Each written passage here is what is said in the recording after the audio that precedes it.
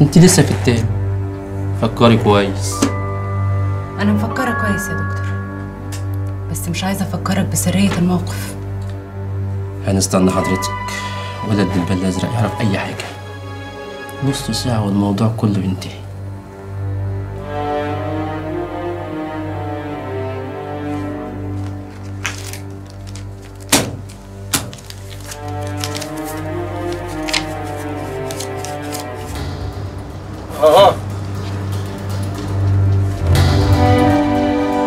فعلا قريب ابو هيبه نقتله. لو قتلناه هنخسر سلاح أبو هيبة. يعني إيه؟ يعني نطلب سلاح مش أبو هيبة تاجر سلاح؟ لازم أستأذن رؤسائي الأول. ست غنيمة ست غنيمة. في إيه يا أم إبراهيم؟ هبة به وصل. بجد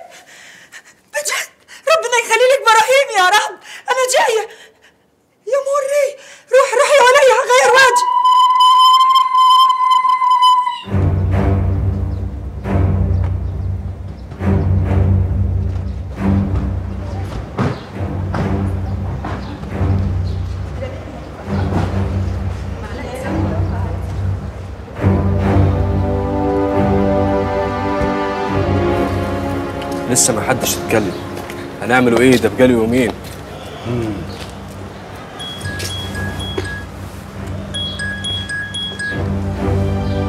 ألو.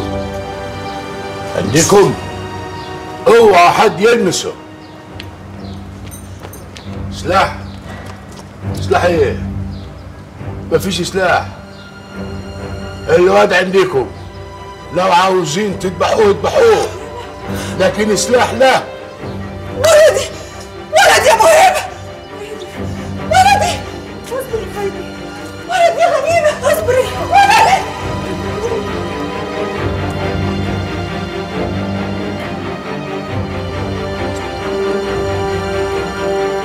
لا إله إلا الله. اتفضلي يا بنتي. اتفضلي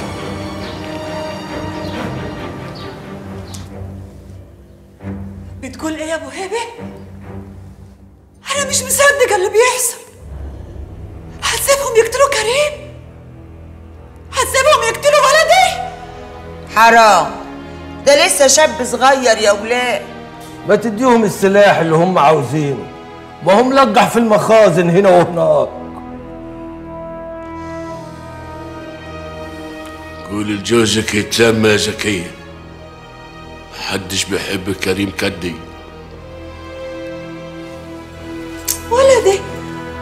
عليك يا ابني. ولدي! ولدي يا ناس!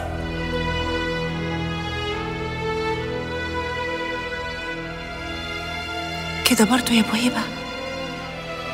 أول ما أحس إن الدنيا ضحكت لي أول ما أرجع يبتدي الهم من تاني. إيه؟ البيت من أولها كده هياخدك مني؟ باين يا ناهد حظك مش هيتغير. بس لا أنا مش هسيبك. مش هخليك تضيع مني ابدا.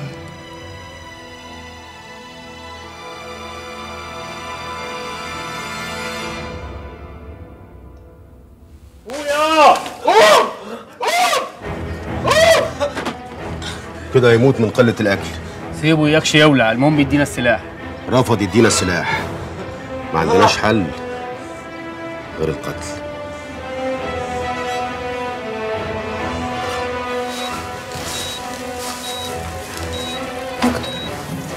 لو حصل لي أي حاجة كلم امينه أختي. أنت عندك سكر أو ضغط؟ لا. بتشرب خمور أو أي مخدرات؟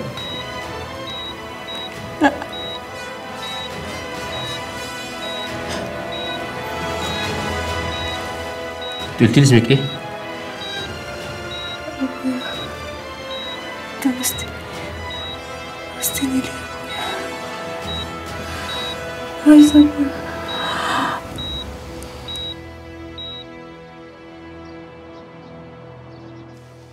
ما هقدرش أديهم السلاح يا صباح. ده وعد واخده على نفسي. هتسيبهم يقتلوه منصور لو كان ممكن يقتلوني بداله كنت عملت كده.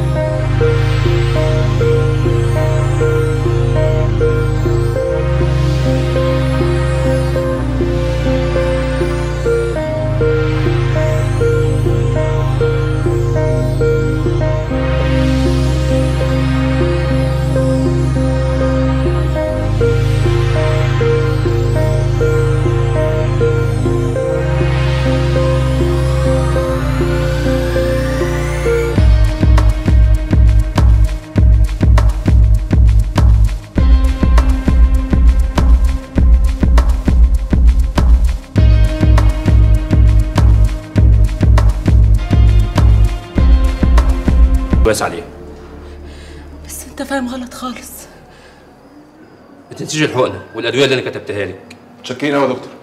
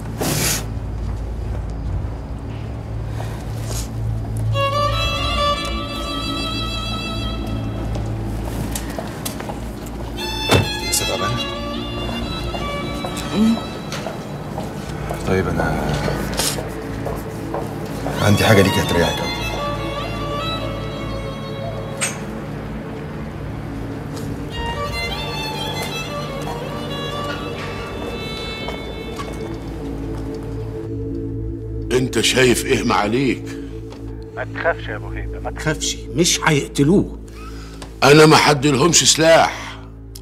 وبعدين بقى ما هم لو اتصلوا النهارده يبقى خلاص اتحلت هيطلبوا فلوس.